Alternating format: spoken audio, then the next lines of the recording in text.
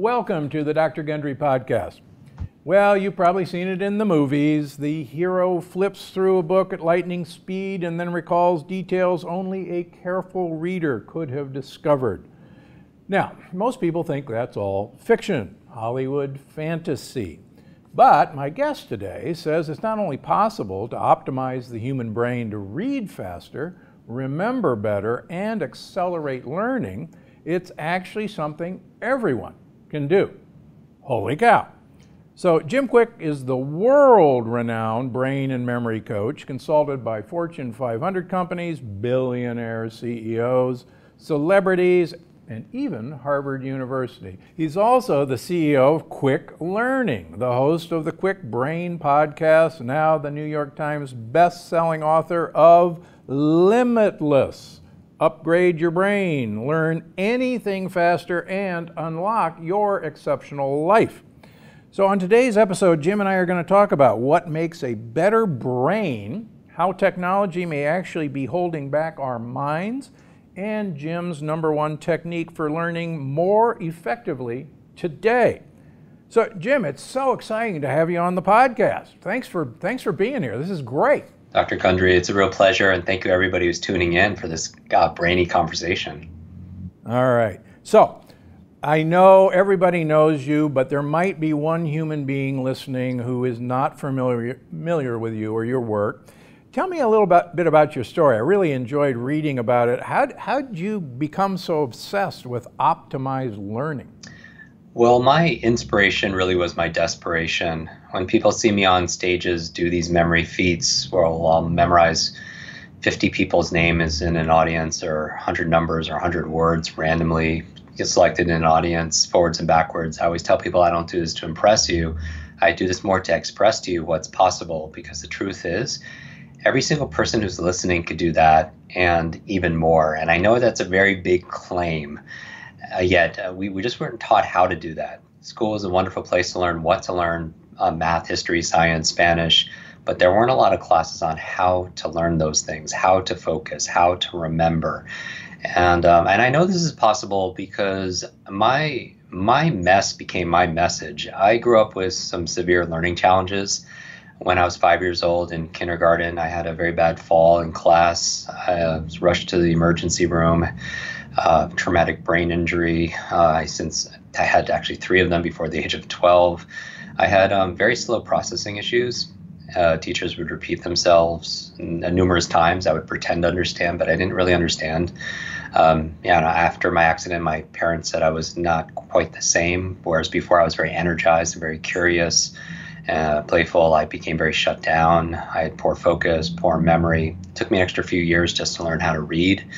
I remember a defining moment when I was nine years old. I was really struggling in class, holding uh, the, the rest of the students back, didn't understand the lessons, and I was being teased for it, you know, almost borderline bullied.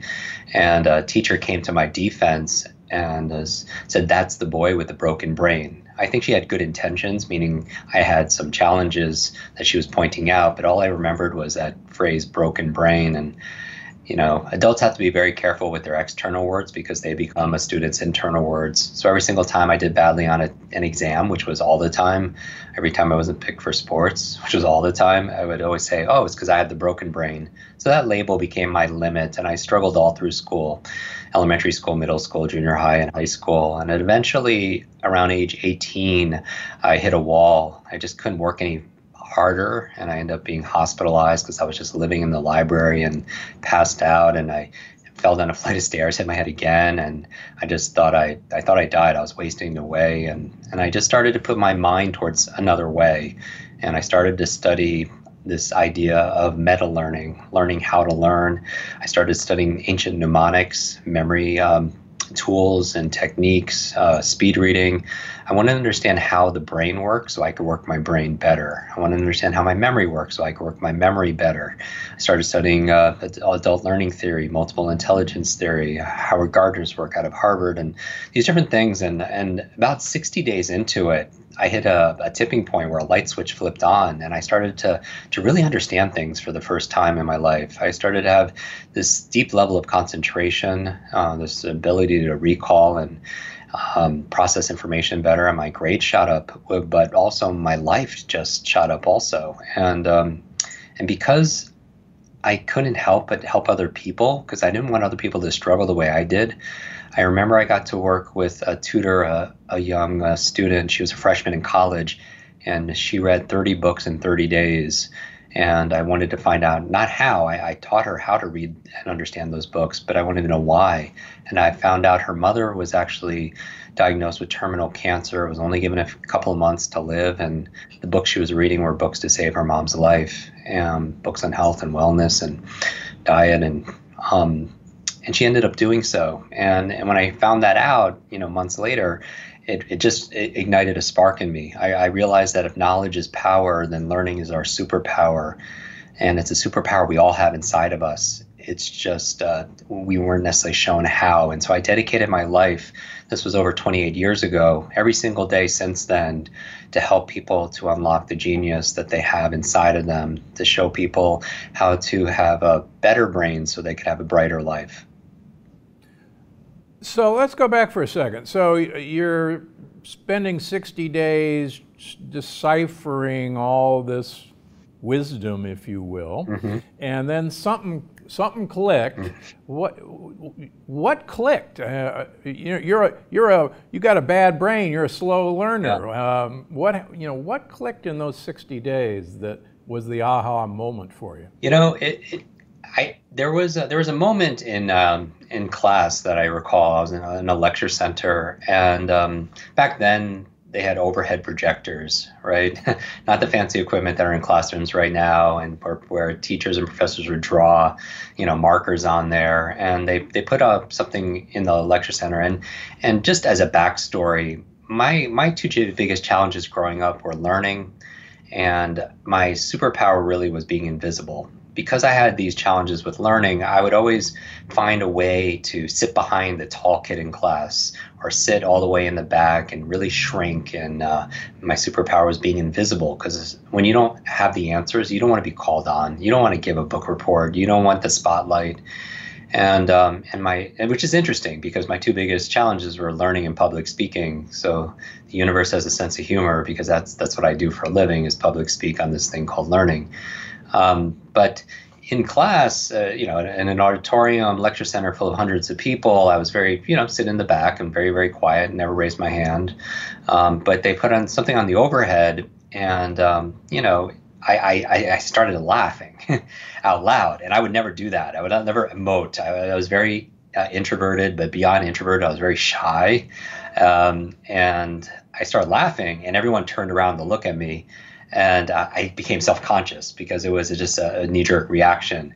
And then about 10 or 15 seconds into it, other people started to laugh, and there was this wave of laughter uh, because of what was on the what I had read on the overhead faster than other people in the class, and uh, and now that's where I realized that uh, that things were clicking. But it wasn't it, over those 60 days. I was learning studying technique note taking techniques, like um, you know memory tools to be able to. So it wasn't it was a gradual change, but I shifted my focus. You know, I found out that school is a wonderful place to learn what to learn, math, history, science, Spanish, but there weren't a lot of classes on how to learn those things, how to focus, how how to study it, how to read it better, how to uh, how to critically think, how to how to remember you know, I, they teach you three R's in school: writing, reading, arithmetic.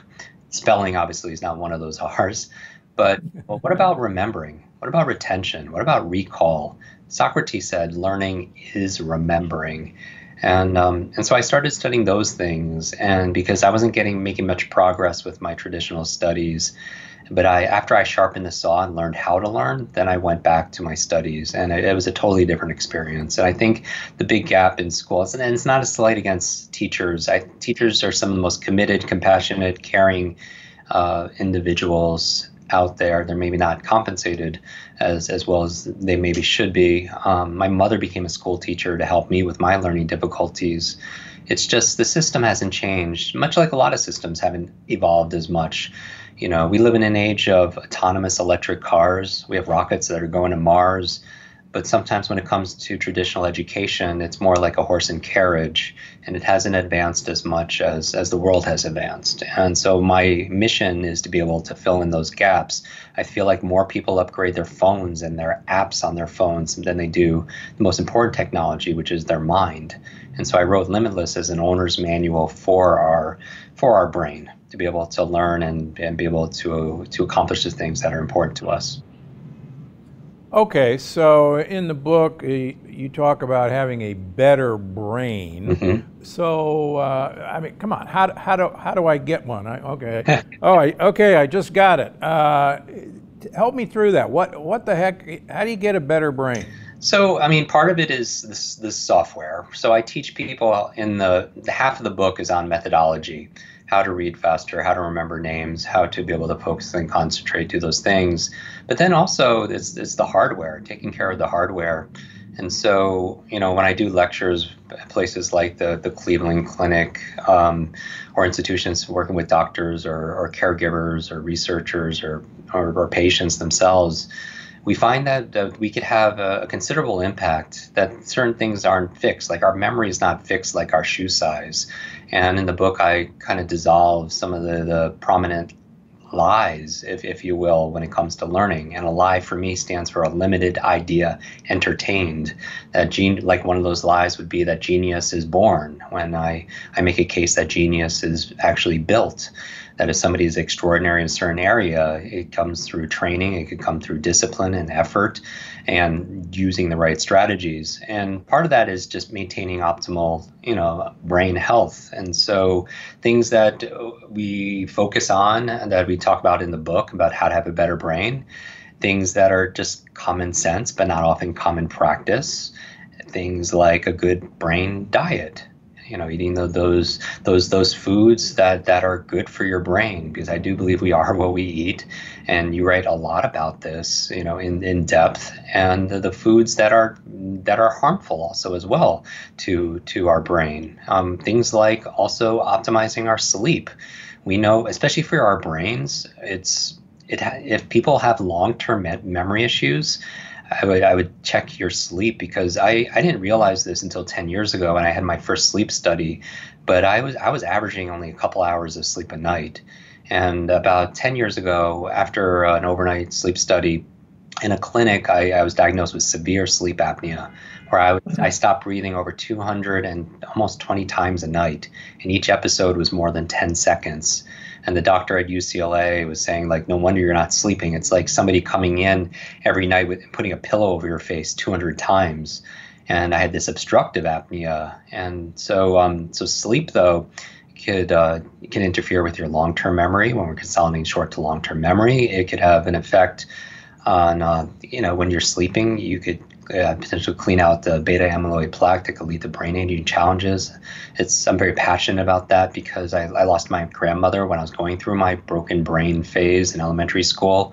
I lost my uh, grandmother to Alzheimer's, and so we're donating actually 100% of the proceeds of the book to build schools for children in need uh, for for schools, uh, teachers, school books, healthcare, clean water, and also um, Alzheimer's research, especially women's um, Alzheimer's, because of in, in memory of my grandmother, where where females are, are twice as likely to experience Alzheimer's as, as men, and so um, but going back to uh, to sleep, um, that's kind of like when the sewage system kind of kicks in when we're sleeping, and also dreaming. Also, um, getting good sleep is important for dreaming, meaning that uh, we find that it's a myth that your brain shuts off at night. In some ways, it's more active.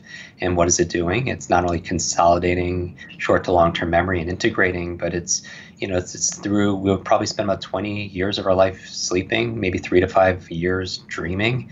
And uh, some people might know this, but amazing inventions and works of art and uh, and literature came from dream states. Mary Shelley came up with Frankenstein in her dream. Uh, Paul McCartney came up with the song "Yesterday" in his dream. Uh, a chemist came up with the framework of the periodic table in his in his dream. And so, what are we dreaming about? So, I have processes for remembering our dreams and doing those things. But um, good brain diet uh, sleep, stress management. We know that chronic stress uh, has the potential of actually shrinking our brains. When, and, and not, not only that, but the chronic fear that's going on with everything in the world, chronic fear actually makes us more susceptible and compromises our immune system, susceptible to colds, to flus, to, to viruses, whole area of science, psycho neuroimmunology. And I think it's very important for people to stand guard to their what's going in their brain, in their mind because there's an algorithm, just like there's an algorithm to social media. If you engage with all, if you're going on Instagram and engaging with all the cat posts, watching all the cat videos, commenting all the cat videos, sharing all the cat videos, then Instagram shows you a whole lot more cats right? And you feel like your whole feed is cats because it's giving you what you're engaging with. I find that metaphor that metaphor is same with our mind, that our mind has an algorithm. And if we're always just focusing on what's dark and scary and threatening, which, you know, our minds are being hijacked by the media, you know, because you have to, as a hunt, as a survival mechanism, pay attention to what could be threatening to you. But if people are overindulging in what's dark, primarily our brains are deletion devices, meaning that at any given time we could be paying attention to a billion stimuli, and we can't let all that in. We would go, we would go, it would be way too much overload. So primarily we're deleting and generalizing, keeping information out, and what do we let in is the things that we're engaging with. That part of our reticular activating system, we're activating our focus on the things that we care about, and if we just start engaging with all that darkness, then just like that algorithm with cats, we just start seeing more of that darkness. The challenge is we have a finite conscious mind. Um, according to George Miller at Harvard, um, seven plus or minus two bits of conscious information. And if you're paying attention to all that's threatening, then you don't have bandwidth to pay attention to opportunity, to gratitude, what you can be grateful to, to possibility. And um, so control that input and have stress management coping tools, you know, whether it's meditation, whether whatever people subscribe to. And so those are just a handful of things. We talk about brain nutrients um, because, you know, the brain has, while it's 2% of our body mass, it requires approximately 20% of the, of the nutrients. Um, and there's an area of, of, study I mentioned in the book called about neuronutrition. Uh, potentially, the brain has different, uh, slightly different requirements than the rest of the body, and so are we supplementing in things like uh, omega threes, DHA?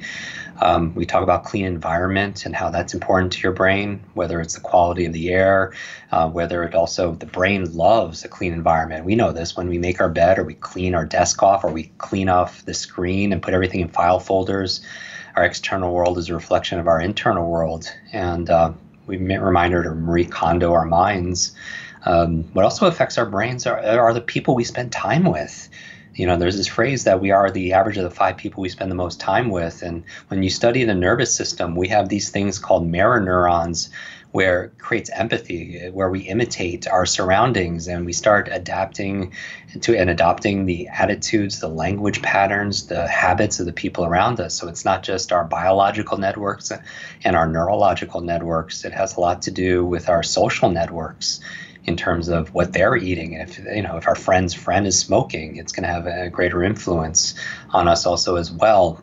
also protecting our brain. If you want your better brain, you know, having had a number of head traumas, protect your brain. Avoid those extreme sports. I, I wish I was better supervised when I was a child, but wear a helmet. Um, another thing that's great for our brain is new learnings. You know, we've discovered so much about the human brain in the past couple of decades, more than the previous you know couple of centuries you know when we're, when we're looking at things like neuroplasticity one of the ways that the brain loves novelty. It helps us create new connections. Just like if you want to build a muscle you give it novelty and nutrition. Well same thing with your mental muscles. You stimulate it with new ideas. It makes new connections. You feed it the right nutrition. You give it the right rest and so I guess what I do is kind of like a personal trainer would make your physical muscles stronger, more energized, more pliable, more flexible. I want people's mental muscles, their focus, their memory, and so on to be stronger, to be more energized, more, more agile, and flexible. So in the book, you talk about the three M's. Yes. Uh, um, Help me with the three M's. Oh, I love this. This is really the heart of the book. Um, the last M is are the methodologies, and it's interesting. You I mean you've gone through this process repeatedly. This is my first book in uh, 28 years of, of teaching, and when I first wrote it, the first draft, it was 100% on the last M, which are methods. It was a purely a self help book on how to do these things, how to read faster, how to remember what you read, how to give a TED talk, you know, from from recall, how to critically think, and all these, how to focus. And before I hit send to my publisher, I asked myself this question because I was nervous about it. I was like, this is, I've waited three decades to put this out there. And I said, will 100% of the people who read who read this book, who read this book, get results? And my honest answer was no. And that was kind of like a coming to, uh, you know, looking in the mirror and just be, be honest with myself. I was like, no, because a lot of people know what to do. They they know the methods, but they don't do what they know. And I realized that I had to incorporate the, the successes I've had over the past three decades you know, with programs in over 195 countries and, and our own podcast with tens of millions of downloads, I get this feedback that it's not just methodology. There's two M's that have to come before that, and there are these three M's, and I call it the limitless model. So to make this interactive, we can make actually this a, a master class for everyone who's listening. I want everyone who's listening to think about one area, just one specific area where you feel like you're held back, where you feel limited Maybe it is in a relationship. Maybe it's in your personal health and well being. Maybe it's in your income. Maybe it's in your impact. Maybe you feel limited in your learning. You just use your memory or you, you just you just you feel like you're slow in some area and you're not making progress. Because limitless is not about being perfect. Limitless, I wrote it to help people progress and advance beyond what they believe is possible. And so it starts with the limitless model because if you feel like you're in a box in some area, and I think most people could identify with an area of their life where it's not their desired state, that box is three dimensional, right, by definition. And the three dimensions that keep us stuck in that box for making progress are the same three forces that will liberate you. And how I want people to imagine it is three intersecting circles. So they call it a Venn diagram. It kind of looks like Mickey Mouse, two ears that cross over, and a face. So three intersecting circles, and these are the three M's. The last M, as I mentioned, are the methods. But if you could have the methods and still be stuck in that box, and what's missing? The first M is your mindset. And your mindset, I am defining as your set of assumptions and attitudes about something. Your attitudes and assumptions about the world, and how it works, your attitudes, assumptions about health and wellness, your attitudes, assumptions about dieting, your attitudes, assumption about about education, about business, attitudes, assumptions about yourself. What would fall in this circle would be things like what you believe is possible. Another thing that would fall in this circle is what you believe you're capable of. So you might think it's possible for somebody else to be super healthy or to reverse this condition, but you might believe you're not capable of it. Um, and that will keep you in that box. Another thing that would fall in there is what you believe you deserve. And so I could teach somebody a method on how to remember names, a common issue for a lot of people. How three steps on how to remember everyone's name. But if their mindset is I'm not smart enough or I have a horrible memory, they're still going to be stuck in that box because all behavior is belief driven. And people come to me all the time. They say, Jim, I'm just getting too old. I'm not smart enough. And I say, stop. If you fight for your limits, you get to keep them.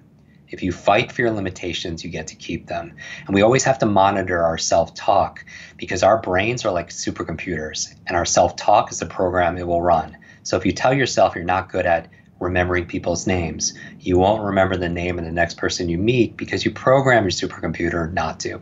So that's our mindset. Now, the second M, you could have a limitless mindset and believe everything is possible, you're capable of it. You even deserve to be healthy, or you deserve to make that money, or you deserve to have a great memory. And you could have the methods, but you could still be stuck in that box because you lack the motivation. And that's the second M, it's motivation. Now, with motivation, it's it's kind of a loaded word, and words have um, effects on how we process information. And some people think motivation is just about getting hyped up pumping yourself up, or maybe exerting willpower to be motivated to eat that right diet, or to exercise that day, or to prioritize your sleep. But for most people, motivation is the equivalent of a warm bath that just cools down, right? And I discovered after three decades of teaching this, not only is it based on the latest neuroscience towards accelerated learning and cognitive performance, it's just me working with everyone from children with severe learning challenges, like I had, to seniors that are very concerned about. Uh, you know these senior moments and, and, and early stage brain aging challenges and everyone in between that i believe that genius leaves clues and the people that are have sustainable motivation there there are three elements in common and let let's do this thought experiment everybody think about let's say we're going to build the ultimate motivated human being. What are the three things that are necessary?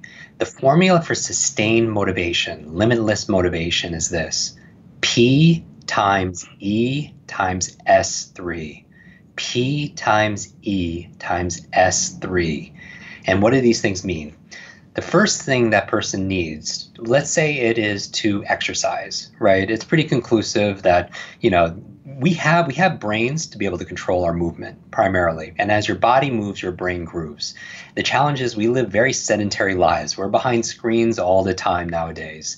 And so moving is great. We create when we move we create brain derived neurotrophic factors. It's bdnf it's like fertilizer for our brain. Yet people aren't doing the exercise. And i'm not talking about doing soul cycle three times a week. I'm talking about just moving each day going for a hike going for a walk and uh, and even there are studies that show that people when they're doing something rhythmic like an elliptical or a light walk and they're listening to your audiobook or podcast then they're actually assimilating it and retaining it actually better. So, you know, as you move, what's good for your heart is going to be generally good for your head more blood flow, more oxygen.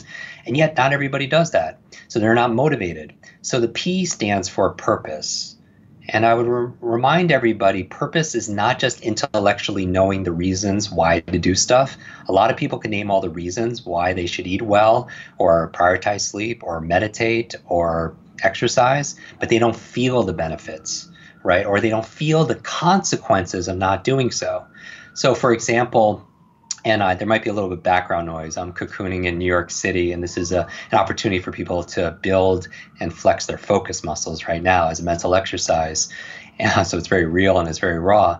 I remember having an acquaintance that just was not healthy. They did everything opposite of what you would recommend somebody uh, do to be healthy and well. And he ends up having a heart attack, almost dies, has triple bypass surgery, very, very painful for him and, and the people around him. But even afterwards, he still didn't change his lifestyle. You know, much to the dismay of his family and his friends, you know, giving him suggestions. And then years later, I see him on the street and he is like the picture perfect of health. He just looks years younger. And I just had to know. I was like, I know what he did, right? He was explaining to me all these things. I, I want to know why. You know, just like this young, you know, one woman that read 30 books in 30 days, her she found purpose in her mom, right? Well, he one day comes home to his daughter who's crying and crying uncontrollably, and she ended she had this dream that she lost her dad and she wasn't he wasn't there to walk her down the aisle and see her children. This whole story, right? But that was purpose, and all of a sudden the lifestyle just fell into place because he found, you know, a purpose that he felt. That success really goes from your head to your heart to your hands. Three H's. But you could visualize a goal in your head but not act with your hands, i.e., you procrastinate. And a lot of times you're not allowing yourself to, to have the second H, which is the feelings, the heart.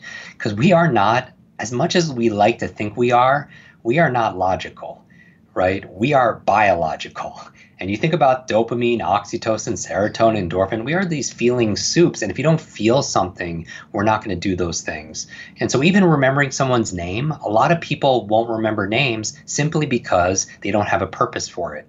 Or the names they will remember, they do have a purpose they have feelings they have they are attracted to the person or they could be good for their business right so the key to a long-term memory is this information by itself is forgettable but information combined with emotion becomes unforgettable, right? So we don't remember the periodic table most people back in high school because the state that they learned it in was that of boredom. And if information times emotion is a long term memory and boredom is on a scale of zero to 10, zero, anything times zero is zero. But we remember things like, I bet that people listening that there's a song that could take you back to when you were in high school or a fragrance or a food that they take you back to when you're a child because that's where you take something that's ordinary and make it extraordinary using using those feelings. And so going back maya angelou said people will forget what you say they'll forget what you did but they'll always remember how you made them feel. That's why i think remembering names is so important. But going back to this equation in terms of motivation feelings we are feeling creatures. First thing in order to be motivated tap into that feeling of what the benefits that will come from doing this activity or the consequences that you'll pay for not doing it. And if you don't feel it you won't sustain that motivation now the second part of that i said was that we're building this ultimate motivated human being if someone just has a big enough purpose will they always be motivated and i said to myself no, they could be missing the E in the equation, P times E times S3. The E stands for energy. Because somebody going back to working out, you know, it's universal. We know that's that, that exercise and movement is good for people. And yet you could have the purpose but maybe you have a newborn child and you haven't slept in three days and you're just exhausted you're not going to be very motivated to follow through and be and exercise. Because the evidence that somebody is motivated is not what you say it's not how you feel it's not how your employees say they're motivated it's not how your children say they feel it's if they're doing the thing consistently. Motive for action there's action that's there. Or let's say people want to read. I think that leaders are readers. When people do see me on instagram and facebook photos with you know Bill Gates and, and Oprah Winfrey and Elon Musk, we bonded over books, right? And I think it's so amazing that if someone like yourself has decades of experience and you put it into a book, I happen to have one of your books right here. Oh, bless your heart, the longevity paradox he's holding up. Yes, um, but if you you know you have decades of experience and you put it into a book, and one of your listeners could read that book in a handful of days, they could download decades into days. That's a biggest advantage people have. So it actually takes about 45 minutes a day for the average reader to finish one book a week. 52 books a year, where the average person only reads two or three or four books a year. Imagine reading 52 books a year. And uh, because the, there's 64,000 words in the average book, and the average person reads about 200 words per minute. That means it takes about 320 minutes to get through a book divided by seven days in a week, about 45 minutes a day. But if somebody can't read, you know, 45 minutes a day, maybe it's because they ate a big meal full of just processed, you know, it's just junk food and that's not junk and food don't really go together. So there's junk and there's food, but they eat this this meal and they're in food coma and they're not going to study. You know, they're not going to be motivated to read that day because they lack the energy, and so that's why energy is so important. Um, that's why in the book we talk about sleep and, and other things like energy vampires, mitigating stress, which takes a, a lot of energy. And then my mind said, okay, if somebody just has purpose, they feel it, and they have limitless energy will they always follow through and be motivated? And I said, no. One more exception. If they're missing S3, three S's, small, simple steps. Often I find with working with clients, especially high achievers, they have a purpose of building this big vision, but it's so big, it's intimidating, and something that's confusing, people don't know what to do. And a confused mind whether it's your patients or your potential customers, they don't do anything. And it's often what you need to do is break it down into small, simple steps. So, as an example, maybe for someone who doesn't work out regularly, an hour a day of exercise is just too much, it's too intimidating. A small, simple step is putting on your running shoes. Maybe reading 45 minutes a day for somebody who doesn't read 45 minutes in a month is too intimidating. Maybe a small, simple step is opening up the book or reading one line right? And so, how do you find your small, simple step? Simple question. What is the tiniest action you could take that will give you progress towards this goal where you can't fail? What is the tiniest action you could take right now to give you progress towards this goal where you can't fail? Because it requires very little energy and very little effort.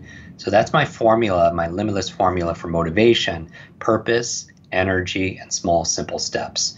And then finally, you have mindset, motivation. The third M, as we mentioned, are the methods. Now, here's the aha for a lot of people. The methods are speed reading focused, but it could be methods for being healthy, methods for marketing. You have to upgrade those methods for our current time, our current based on the current research. And here's the thing when you're looking at this Venn diagram, there are three M's, but there are also three I's. And the three I's are the intersecting points of these M's, where mindset and motivation cross over. That shared space is inspiration. Now you have mindset experts, you have mindset books. A great book by Dr. Carol Dweck called Mindset. You have motivational speakers, motivational books. Where they cross over, you have inspiration. And you have inspiring speakers, inspiring books, inspiring movies. What does an inspiring movie do? It changes your mindset of what's possible and it gives you some energy and some drive but you're inspired, but you lack the methods. You don't know what to do. So an inspiring speaker will inspire you, but like, what, what, what do I eat now? Or how do I move? Or how do I do my sleep? They want to be there with the methods. Now, the second I is where mindset and methods cross over. Where mindset, you believe everything is possible in your mind, and methods, you know exactly what to do based on latest research, the processes. That shared space is ideation. Ideation, because it just stays an idea because what's missing? The motivation to do anything. So you're still stuck in that box. And then finally, where motivation and methods cross over, you have implementation.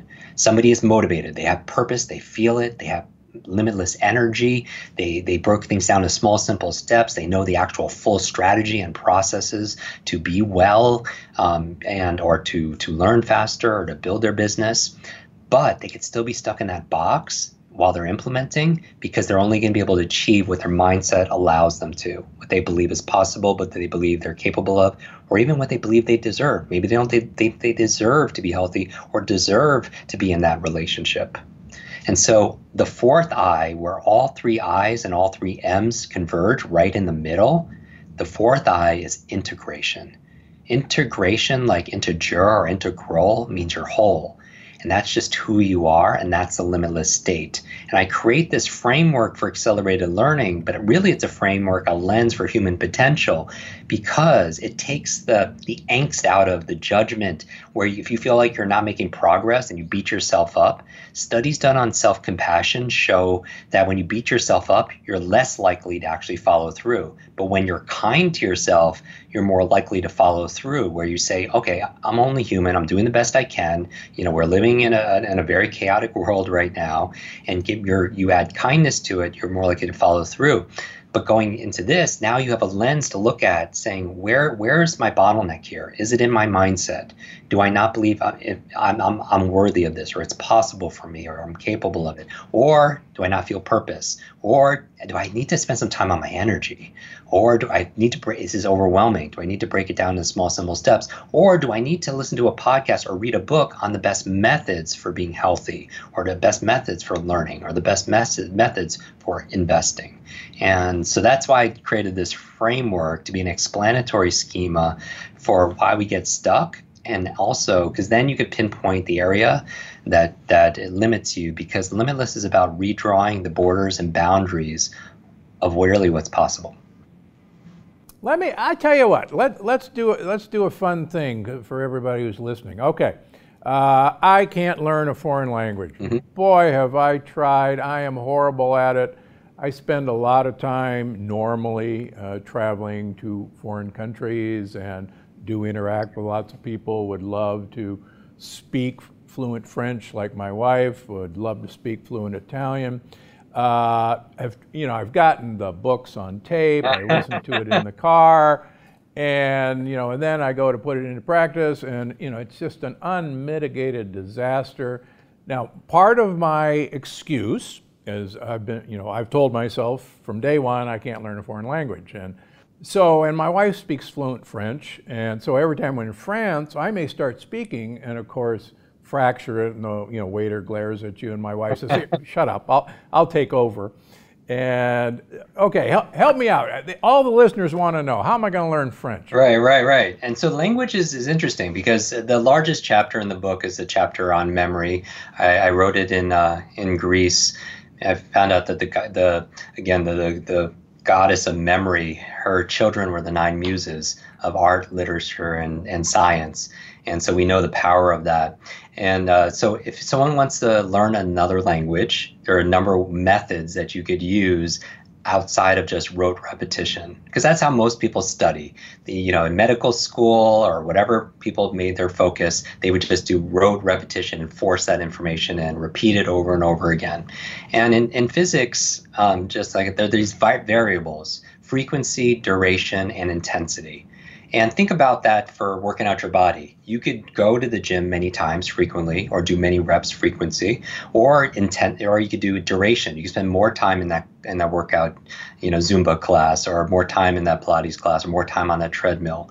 Or you could do something so intense that you get results also. Same thing with marketing. It could be frequency of sales calls frequency of ads or longer duration ads or something so intense it creates a change and so same thing with our, our memories. And when it comes to memory memory is often I, I, teach people in the book that memory is as easy as pi p-i-e and these are the three elements i focus on when you want to enhance your memory. And the p stands for place where we realize that the ancient Greeks, because I didn't just want to study the latest neuroscience applied to memory, I wanted to know what ancient cultures did before there were printing presses. And I found out that uh, Simonides, an ancient uh, a poet and orator, he gave a talk, and afterwards he left the building. Something tragic happened. The building collapsed, and he was the only lone survivor. And because he was the lone survivor, he had the responsibility of helping family members identify their loved ones. And he was able to because he remembered where they were all sitting. And it's kind of human nature. As a hunter gatherer, we didn't need to memorize 100 digit numbers. We need to remember where things were. Where's the where's the fertile soil? Where's the clean water? Where's the enemy tribe? Where's the food? And that was our survival. So P is the place where we store information. The I in pi stands for imagine and we remember things better that we could visualize in our mind. We are better, often people are better with faces than they are with names. You go to somebody and say, I recognize, I remember your face, but I forgot your name. You never go to someone and say the opposite. You never go to someone and say, I remember your name, but I forgot your face. That wouldn't make a lot true. That's very true. But there's a proverb that says, "What I hear, I forget. What I see, I remember. What I do, I understand." I saw, I, I heard the name, I forgot the name. I saw the face, I remember the face. And what I do going back to practice, I understand because practice makes progress. So visualizing helps you to remember. So that's the I, you imagine it. And the E in pi stands for entwine. Entwine. What does that mean? It means you put or associate two things together. Because ultimately, all learning is that. All learning is associating something you don't know to something you know. So you're associating a name to a face or a word to its definition, or a foreign or for a foreign language to its its translation, or a capital to its you know country. There's always two bits of information that you're associating. In this case, what you're entwining is the place and the image. And that's a simple formula for remembering faces, you know, names and faces, and even languages. Let me give you an example. All right. So when we're talking about languages, the key, one of the keys is is, is beyond repetition and frequency is go for intensity. As you could see it and you could feel it and hear it, the more of your nervous system you use, the more intense it becomes, the more unforgettable it is. As an example, actually let's let, let's let's do this. Okay, this is this will be interesting. I want people to are listening to do what um, I'm, I'm, explaining right now. Um, we'll uh, take. Um, I'll give a couple of French examples, but let's let's learn how to count to ten in Japanese all right, in two minutes. That's the promise. Two minutes. Whoa. All right. Count to 10 in Japanese. And most people say, oh, just repetition. Ichi, ni, san, shi, go, roku, suchi, hachi, kuju, and just repeat it a hundred times till your mind gets bored and, and just gives up.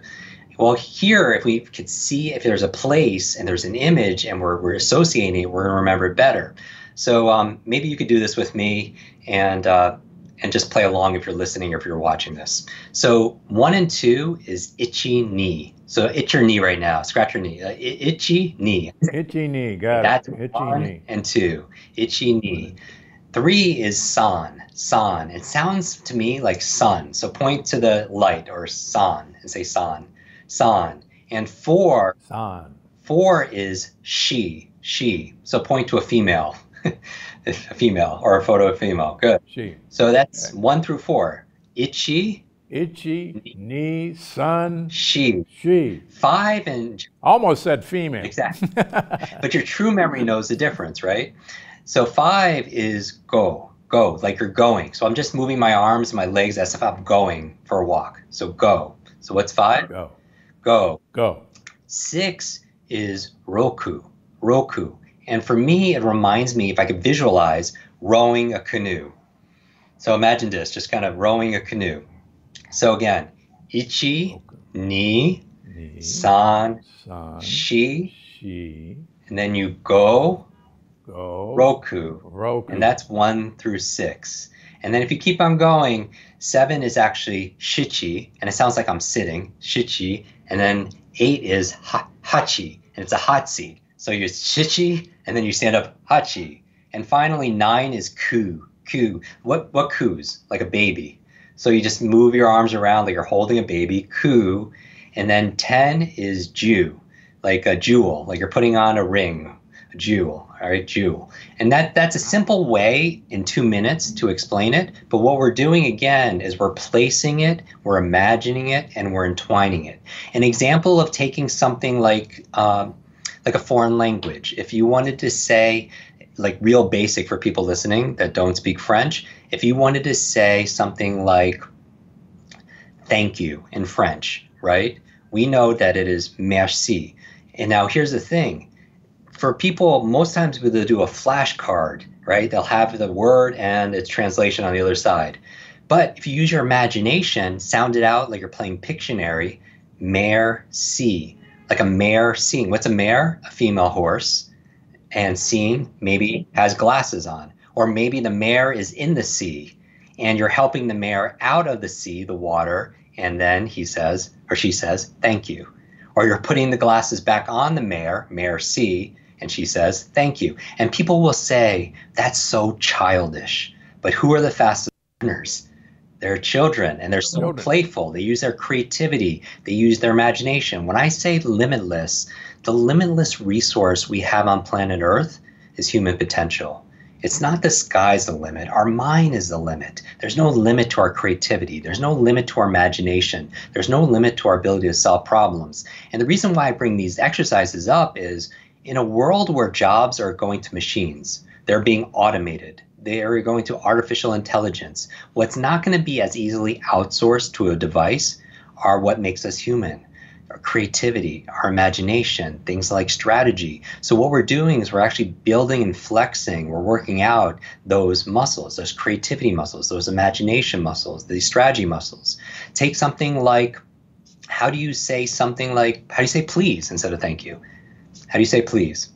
You know, you know, in French. Oh, in French. Hang, actually, I was I was thinking of a joke, so now I'm now I'm completely off. Uh, so somebody says like "s'il vous plaît." For me, yeah. it's like, what does it sound like if we're playing Pictionary? Silver plate. So imagine you you building please into a story. You're entwining it with a silver plate, and and your true memory knows the difference. You just need a prompt to remind you, right? And then once you see what people really need, especially with names, they need something to overcome what I call the six second syndrome. Somebody tells you their name and you have six seconds to do something with it, otherwise it's gone. You know, and so when you pick a place on their face, like they're they're they have great head of hair, great pair of glasses, and you find out, you know, that's the place, P and pi. And the I is imagine. Maybe their name is David. And for me, I imagine a slingshot. Why? Because David and Goliath. And the E is entwine. And so what am I entwining? Their glasses with the slingshot. And I'm just imagining myself hitting them in the glasses with the slingshot. It's so ludicrous, would never ever happen in reality, but I'll never forget it. Because when I say goodbye to him 20 minutes later, what's his place? Oh, his glasses. What was I doing? Hitting with a slingshot. What's his name? David.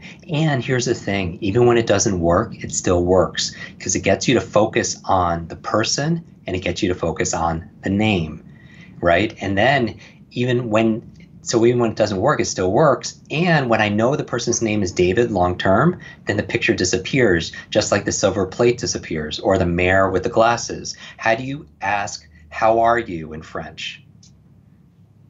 So, so if you want to say something like, uh, uh, let's say, "Comment allez-vous?" Comment. Yeah. So for me, "Comment allez-vous" sounds like, "Come on to this alley, see this view." So I might imagine myself in France. I see the Eiffel Tower and then I'm going, I'm having a conversation with some meeting someone, I'm asking them how they are, and then all of a sudden they say, "Come on to this alley, see this view." Because if you did the work and you studied it, you know it's comment allez-vous, but you need something to prompt you, just like that David and Goliath image. And then once you know what it is, your true memory, because what it does, it makes it so intense, you don't have to do the frequency and the duration. Now change it, and you want to learn it in Chinese. Take out the Eiffel Tower, put in the Great Wall of China and you have, you know, how are you? And it's ni hao ma, Nihoma, and I just think of like going up and saying, How are you? And somebody takes a garden, someone's ma takes a garden hoe and then just hits me on the knee. And it sounds so silly and ludicrous, but remember, information combined with emotion, humor, violence becomes more memorable.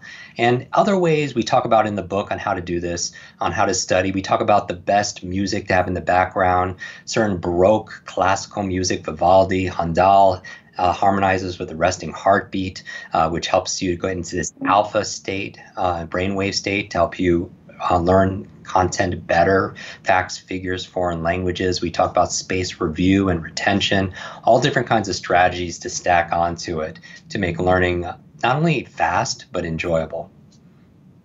Oh, but come on, Jim. I can just pull up my app on my iPhone and translate everything. I, I don't need your tricks. Come on. and here's the thing, Steven, because I, I, get this comment a lot. I train at Google and Facebook, and they're like, Jim, I don't have to remember this. I have a search engine. We organize the world's information. Here, here's my answer for this. I'll give you a couple of answers. Number one, our life, in the book, I have a quote from a French philosopher that says, Life is the C between B and D. B is birth, D is death, C is choice. And we always can make these these choices. And part of the things is our life is a reflection of all the choices we've made up to this point of our of our existence, right? What are we going to eat? Where are we going to live? Who are we going to spend time with? What are we going to do for a living? All these things, right? But we can only make good decisions based on the information we know, and that presupposes we remember it. And so that's why memory is so important. But the other reason why it's not just about mental intelligence, it's about mental fitness. There's these you know things that are happening like digital dementia. Where we're outsourcing our memories to our smart devices and it keeps our to-dos it keeps our calendars it keeps our phone. How many phone numbers did you know growing up? How many? Like a lot. all yeah a lot. How many phone numbers do you know or whoever's listening how many phone numbers do you know right now one, two, three, maybe, and there could be somebody you text and call every day. But you, if your battery is dead, you don't have your phone with you, you honestly don't know who the, what their number is. And not that I want to memorize 200 numbers, right? I mean, I certainly could teach somebody how to do that, but we've lost the ability. It should be concerning we've lost the ability to remember one, or a PIN number, or a passcode, or a conversation we just had, or something we were going to say, or why we went to the store. We go to the store to buy one thing, we come back with two bags full of things, except for that one thing that we went, you know, they absent after someone's name. And that's why I believe memory is a muscle. Yeah, there's no such thing as a good or bad memory. There's a trained memory and an untrained memory. And this also goes to not only digital dementia, um, but also what I talk about in the book, digital deduction, where if you don't have to think anymore, and then there's a technology that tells you where and when to turn, right, or what's recommended for you, because there's an algorithm. We're finding children, they don't, when they're tested, they don't have the same analytical ability of previous generations because the technology is doing all the thinking for them. So they don't have to develop these kind uh, thinking uh, fitness, like the critical thinking, divergent thinking, rationalization, and, and so on. So technology is wonderful. It allows us to have this conversation right now and everyone to listen for it. But technology is a tool for you, for you to use. But your brain is like a muscle. It's obviously not a muscle, but it, it acts like a muscle. But if I use a technology like Lyft or Uber to go five blocks when I could have walked, or I use an elevator when I could have walked up three blocks of you know flights of stairs. There's a physical toll to my body, and if I put my arm in a sling for 12 months, it wouldn't stay the same. It wouldn't even grow. It would grow worse. It would atrophy. And that's what digital dementia, digital deduction is the high reliance on technology where we don't have to maintain a level of mental fitness. And so I would encourage people to be able to exercise their brain like they exercise the rest of their body. Wow, that's a that's a pretty good way to end all this. So, all right, I ask everybody who comes on the program, give give our listeners one thing they can do today to get a better brain. Just just one thing. How do we start? Yeah. Just one. Absolutely. I would say this. I would say first, oh god, I'm going to take like 10 things. Yeah, I only want one. One thing, one thing. I would I would say this. I would say sit down and design your morning routine. Your morning routine. My, everybody has their morning routine of the things that they do to win that day. Because if you want to win the day, you have to win that first hour of the day. First, you create your habits, then your habits create you. My morning routine, if people Google it, or we did a whole podcast episode on it, millions of downloads and views on this, Jim Kwik's morning routine focuses on the brain. The 10 things I do every morning to jumpstart my brain. And I would just say, find something in the morning for you instead of picking up the phone because that's rewiring your brain to be distracted and it's rewiring your brain to be reactive to things that will hurt your peace of mind, your positivity, your productivity, your performance. I would say replace picking up your phone with one thing that's good for your brain, whether it's eating a good brain food, taking deep diaphragmatic breaths. Some fun thing I, I teach people to do is brush their teeth with the opposite hand because it engages the opposite side of your brain because as your body moves your brain grooves. But what it really does is it forces you to focus first thing in the morning because you can't be doing that and being distracted. So it trains your fit your your focus and your presence muscles and that's how you're going to achieve the most because the most important thing is to keep the most important thing the most important thing. So my challenge with everybody look at your morning routine and replace picking up your phone with something else that's more brain friendly all right, everybody. Now, can everybody remember that, please? you got to brush your teeth with the other hand. And actually, I'm going to add something. While you're brushing your teeth, you have to do deep knee bends. You got to do uh-huh. squats.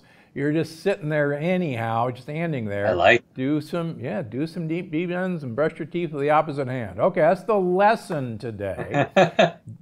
Jim, thanks so much for being here. Uh, where do where do people find you? Yeah. They probably already know, but just tell us how to how to figure you out. We we have a podcast. You can search Jim Kwik. You just have to spell it right. K W I K in your podcast app. Every episode's only 15 minutes on how to remember names, learn languages, change your habits, all of that great stuff.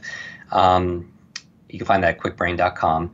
And the book, limitlessbook.com, is where you'll get all the links around the world because I know your audience is global. So we have put all the links conveniently there for you to find the book. And we are gifting on that page a free book club where we spend one week per section of the book to help you read, remember, and apply it. And two bonus chapters there Limitless for kids and Limitless for your team. How to apply the Limitless model to those areas. And that's at limitlessbook.com. And I would actually challenge everybody right now is to take a screenshot of this episode. The fastest, my last tip for everybody, the fastest way to learn something is to learn with the intention of teaching somebody else. So I would say one of the ways you could do that, take a screenshot of this episode right now, tag Dr. Gundry, tag myself at Jim Kwik, post it on Facebook, Instagram, Twitter, and share the one aha from this conversation. What is one small, simple step that you could take to better your brain? The same question that I was asked here. What's one, one simple tip that people could do? What's one simple thing that you're going to do to better your brain? Post that in the description or take a picture of your notes and post it. Tag us both in it. And I'll actually repost my favorites because that way I could see it if you're following and tagging me. And I'll actually send a copy of Limitless to a couple of my favorite answers just as a fun. Uh, Great idea. Yeah. Great idea and uh, maybe we'll uh, we'll send off a longevity paradox to the first few folks that we like as well. We've done that. That'd be that'll be fun. All right. Well, it's a pleasure to meet you. Big fan, and uh, uh, please enjoy the longevity paradox. And I've certainly thoroughly enjoyed Limitless. And I'm going, to, doggone it, I'm going to learn French, and I'll call you in French. All right, Mary. All right. Thanks for being here today. Merci beaucoup. All right, so it's time for the audience question. Elton Hay asks on drgundry.com, have been on the plant paradox diet for approximately one year, but still have knee and hip and lower back stiffness and pains. Anything in particular that can be done to address these issues? I am 79 years old and in reasonably good health. Well, I read this. Uh, actually earlier, and I had a chuckle. And of course, my first uh, chuckle was, well, if I could turn back the hands of time and make you 30, uh, that would be a start. But in all seriousness, uh, recently, my uh, my wife and I, I'll, I'll, turn 70 in a month. My wife uh, just turned 70 a couple months ago, and uh, injured her knee skiing this this year and uh, that she's an avid tennis player, and now her knee hurts when she plays tennis. And we've tried actually all of my wonderful tricks, uh, the supplements that we use, and I could name them, but I'm going to give you another trick that is actually really working right now. Uh, I have mentioned on a previous podcast that I've been fascinated with red and near infrared light therapy for a variety of uh, things. And you're going to learn a lot about it in the next book, The Energy Paradox. And I have used this device on a shoulder that I injured. I've used this device on my knee. And my wife um, understandably chuckles and says, Yeah, yeah, okay. So, you know, I'm so happy that's working for you.